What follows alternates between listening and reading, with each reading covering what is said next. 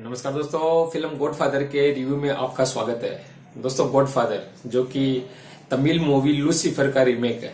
Lucifer जिसमें मोहनलाल ने बहुत ही ज़बरदस्त तरीके से टाइटल रोल प्ले किया था और उनकी एक्टिंग कितनी लाजवाब थी, कितनी ग्रेट परफॉर्मेंस उन्होंने दी थी। उसके ऊपर ये फ़िल्म आधारित है, उसका एक तरीके से आप रीमेक कह सकते हैं, तेलुगु में बनाई गई है, लेकिन चूँकि इसमें सलमान खान भी कैमियो कर रहे हैं तो इसको हिंदी में भी डब किया गया है। तो दोस्तों, एक तरीके से बॉलीवुड तथा टॉलीवुड का मिश्रण है। मतलब इसमें मेगा स्टार चिरंजीवी तो है ही, साथ में सुपर स्टार सलमान खान भी आपको साथ में नज़र आए हैं, लेकिन उनका केवल एक केम्यू है। तो पहले बात करते हैं फ़िल्म की। मोहन राजा ने इस फ़िल्म को डायरेक्ट किया है। और दोस्तों, ये एक पॉलिटिकल थ्रिलर एक्शन ड्रामा है, जो कुल मिलाकर के ठीक कहा जा सकता है। मतलब आप ये भी नहीं कह सकते कि बहुत ही बेहतरीन फ़िल्म है, बहुत ही सुपर मूवी है, ऐसा तो कुछ नहीं है। लेकिन इतना इतना ज़रूर तय है कि फ़िल्म आपको मतलब बाँध के रखने में कुछ हद तक कामयाब होती है। स्क्रीन प्ले इतना भी आप चुस्त नहीं कर सकते, इतना भी टाइट नहीं कर सकते कि आप बोरी नहीं होंगे। कई जगह आपको बोरियत महसूस होगी, क्योंकि फ़िल्म की लंबाई करीब दो घंटे चालीस मिनट की, दो घंटे चालीस मिनट की फ़िल्म है तो कई जगह आपको बोरियत डेफिनेटली महसूस होने वाली है, इसमें कोई शक नहीं है। लेकिन कई जगह आपको एंटरटेनमेंट भी मिलेगा मतलब कई जगह आपको अच्छे एक्शन सिक्वेंसेज भी देखने को मिलते हैं, अच्छे डायलॉग्स भी आपको सुनने को मिलने वाले हैं।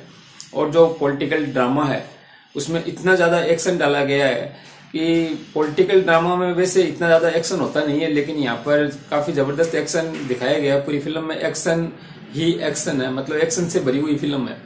तो कुल मिलाकर के फ़िल्म ठीक है मतलब ऐसा भी नहीं है कि आप इस फ़िल्म को सुपर मूवी कह सकते हैं एक्सीलेंट मूवी कह सकते हैं, बहुत अच्छी मूवी कह सकते हैं, ऐसा नहीं है। लेकिन फ़िल्म आप एक बार देख भी सकते हैं। एक बार देखने से आप बोर भी नहीं होंगे और आपका पैसा भी वसूल हो जाएगा। लेकिन जैसा कि मैंने कहा कि एक बहुत ज़्यादा उम्मीदें लेकर के आप ये फ़िल्म देखने मत जाइएगा, क्योंकि उतनी ज़्यादा उम्मीदों वाली ये फ़िल्म है नहीं। बस एक ठीक ठाक एवरेज मूवी है। स्क्रीन प्ले फ़िल्म का ठीक है। लेंथ थोड़ी सी ज़्यादा है, जिसको एडिट किया जा सकता था।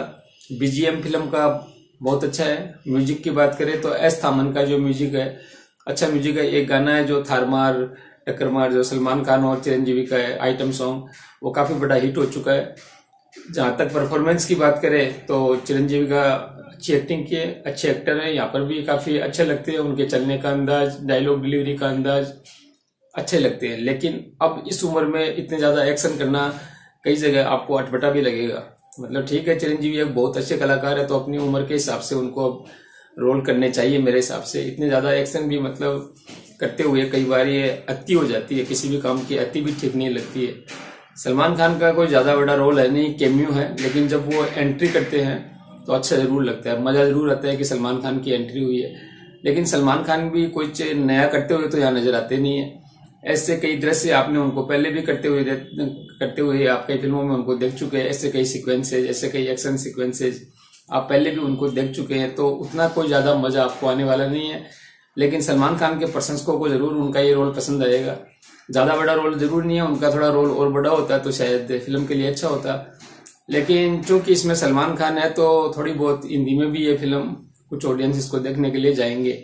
लेकिन कुल मिलाकर के ये एक औसत फ़िल्म है, एक एवरेज मूवी है। पैसा वसूल मैं कह सकता हूँ, इसको कुछ दर्शकों को पसंद आएगी, लेकिन कईयों को पसंद भी नहीं आएगी, क्योंकि कई जगह फ़िल्म आपको बोर भी करती है। कोई ज़्यादा विशेष, मज़ेदार मूवी नहीं है ठीक ठाक मूवी है। एवरेज मूवी है। एक बार अगर आप सलमान खान के लिए या चिरंजीवी सर के लिए देखना चाहिए तो ज़रूर देख सकते हैं।